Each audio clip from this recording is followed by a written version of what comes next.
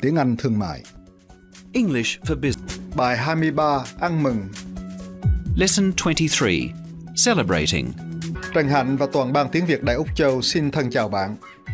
Mời bạn theo dõi loạt bài tiếng Anh thương mại do Sở Giáo dục Đa văn hóa dành cho người lớn gọi tắt là AIMS biên soạn tại thành phố Melbourne, Úc Châu.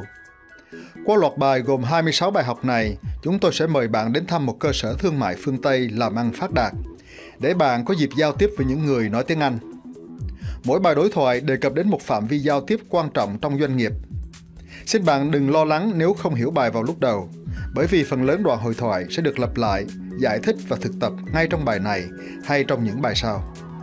Lâu lâu chúng tôi sẽ lặp lại toàn bộ đoạn hội thoại và bạn hẳn sẽ ngạc nhiên không ít khi thấy mình chẳng những có thể hiểu được rất nhiều mà còn nói được nhiều câu tương tự đến như thế. Trong bài 23 này, bạn sẽ học cách diễn tả khi mời ai ăn tối và khi được mời thì bạn phải đáp lại lời mời như thế nào.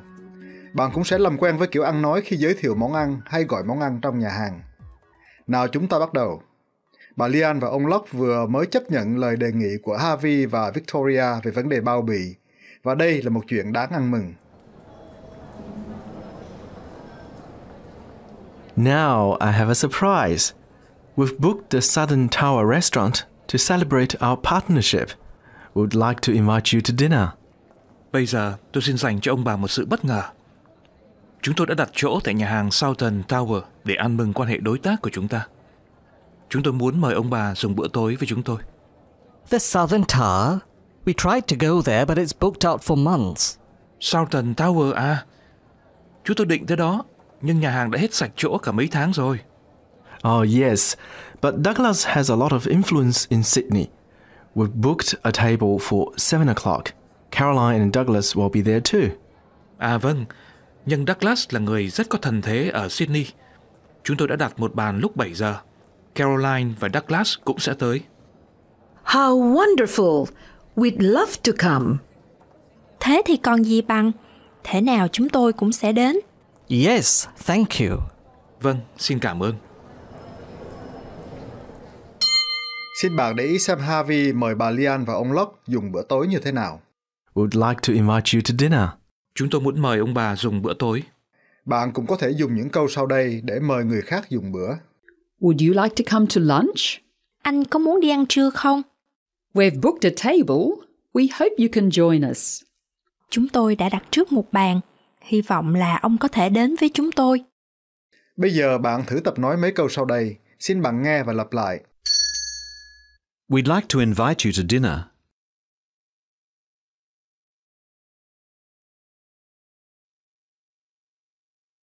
Would you like to come to lunch?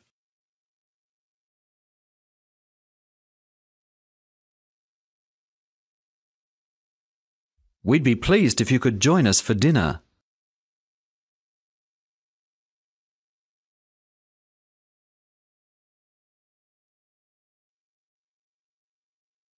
We've booked a table.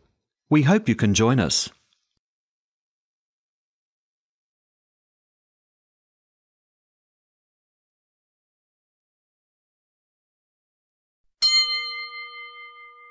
Xin bạn nghe cách bà Lian và ông Locke đáp lại lời mời.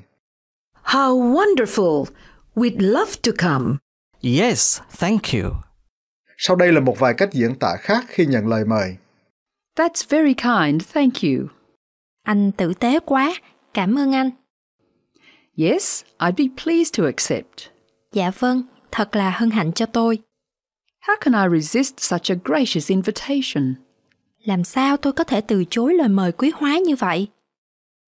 Bạn thử tập nói những câu sau đây. Xin bạn nghe và lặp lại.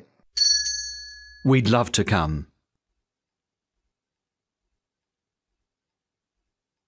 Yes, I'd be pleased to accept.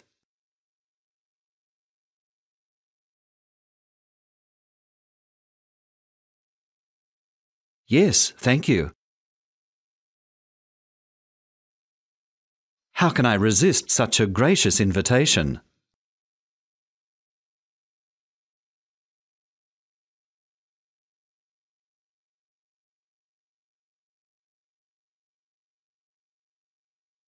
Trong những bài học trước, bạn đã tìm hiểu xem phải từ chối như thế nào. Thế nhưng bạn cũng nên ôn lại để biết phải ăn nói ra sao cho nhã nhặn khi phải từ chối lời mời, nhất là khi bạn được mời tham dự một bữa tiệc hay sinh hoạt nào đó nằm ngoài phạm vi làm ăn. Khi từ chối lời mời như thế, bạn nên nêu lý do sao cho đúng phép lịch sự. That's very kind of you, but I'm afraid I have a prior engagement. Anh tử tế quá. Thế nhưng tôi lại vướng hẹn mất rồi. I'm sorry, I have to decline. I have family commitments. Xin lỗi, tôi không thể nhận lời. Tôi vướng chuyện gia đình mất rồi. I'm sorry, I won't be able to make it. I have an important appointment that night. Rất tiếc, tôi không thể tới được. Tôi có một cái hẹn rất quan trọng vào tối đó. Sorry, I can't. I'm busy that night. But thanks anyway. Xin lỗi, tôi không thể. Tối hôm ấy tôi bận mất rồi. Dầu gì thì cũng phải cảm ơn ông. Quý bạn đang theo dõi chương trình tiếng Anh thương mại của Đài Úc Châu. Bài 23 Ăn mừng. Lesson 23 Celebrating. Xin bạn lắng nghe các từ ngữ và mẫu câu mới trong khi tiếp tục theo dõi cuộc đàm thoại bằng cả tiếng Anh lẫn tiếng Việt. Các nhân viên đại diện cho công ty Helen Harty đang tiếp đãi bà Lian và ông Locke tại nhà hàng Southern Tower.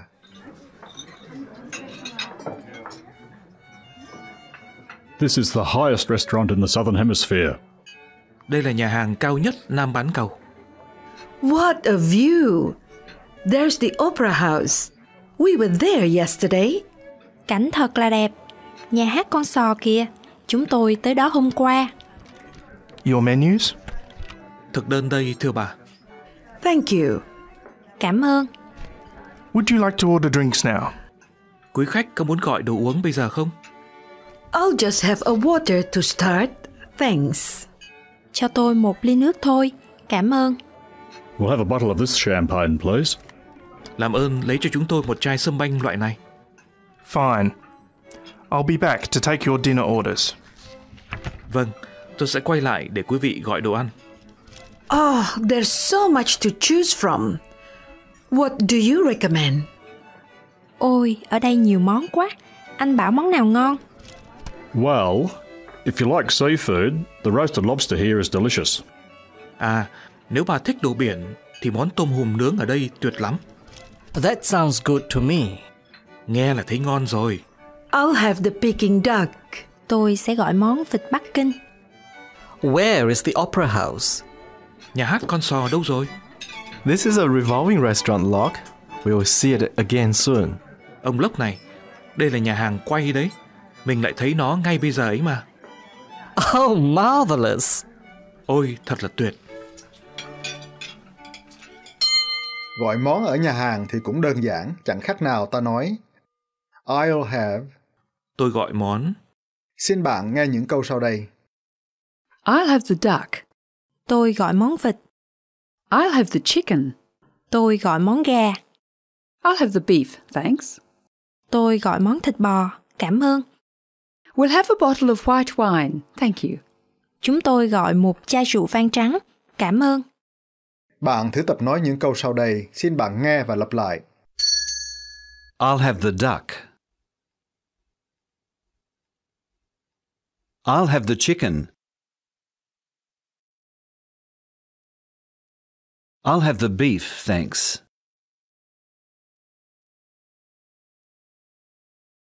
We'll have a bottle of white wine, thank you.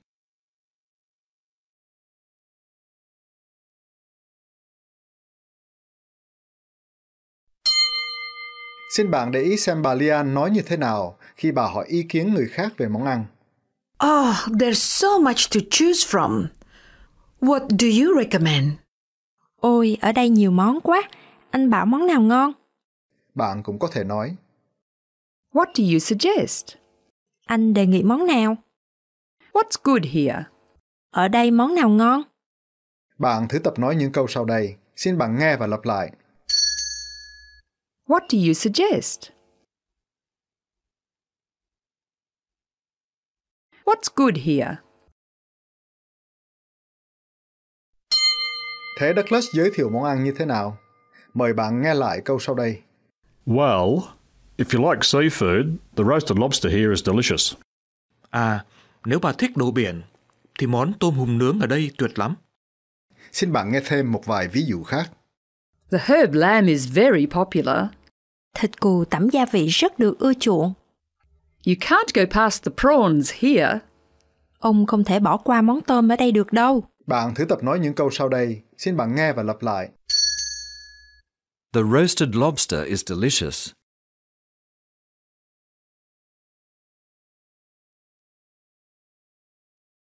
The herb lamb is very popular.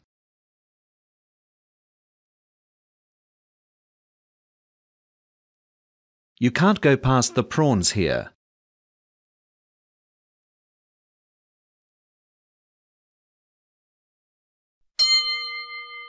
Bạn nên lưu ý một vài khía cạnh văn hóa sau đây.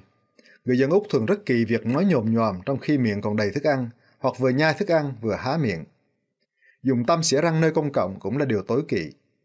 Trong trường hợp bạn buộc phải dùng tăm thì hãy lấy tay che miệng lại lúc xỉa. Và khi muốn lấy một vật nào đó nằm ngoài tầm tay thì người lịch thiệp sẽ nhờ người khác chuyển dùng chứ đừng cố với qua mặt bàn. Ví dụ bạn có thể nói Excuse me, could you pass the sauce? Xin lỗi, anh làm ơn đưa tôi chai nước tương được không? Để kết thúc bài học hôm nay, xin bạn nghe rồi lặp lại những mẫu câu sau đây. Khi muốn mời người khác dùng bữa, We'd like to invite you to dinner.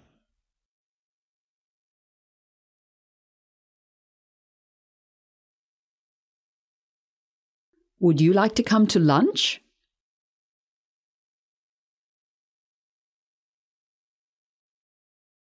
khi nhận lời mời, We'd love to come.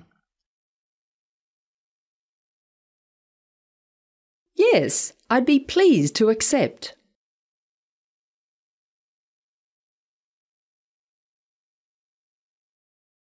khi khước từ lời mời, That's very kind of you, but I'm afraid I have a prior engagement.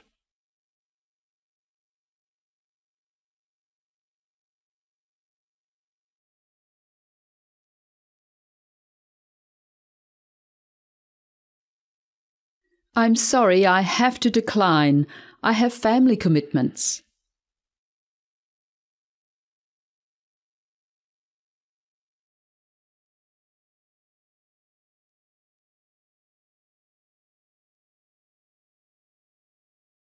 I'm sorry, I won't be able to make it. I have an important appointment that night.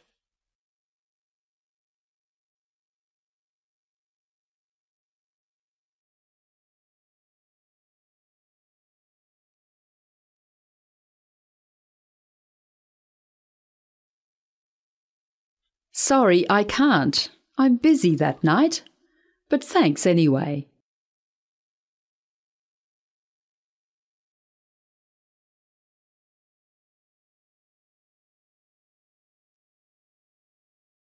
Khi gọi thức ăn, I'll have the duck. We'll have a bottle of white wine, thank you.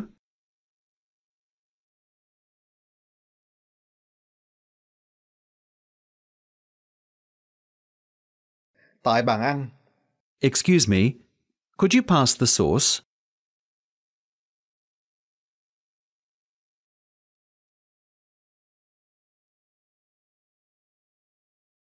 Và trước khi chia tay, chúng tôi xin gửi tặng bạn bài về sau đây để giúp bạn học và thực tập, với hy vọng bạn sẽ có thể nhớ được phần nào những gì mình đã học trong bài này trước khi chúng ta qua bài mới. I recommend the salad, the chicken, and the prawns. In that case, I'll have salad, I'll have chicken, I'll have prawns. I recommend the salad, the chicken, and the prawns. In that case, I'll have salad, I'll have chicken, I'll have prawns. Trần Hạnh mong gặp lại bạn trong bài 24 để tiếp tục theo dõi đề tài ăn mừng.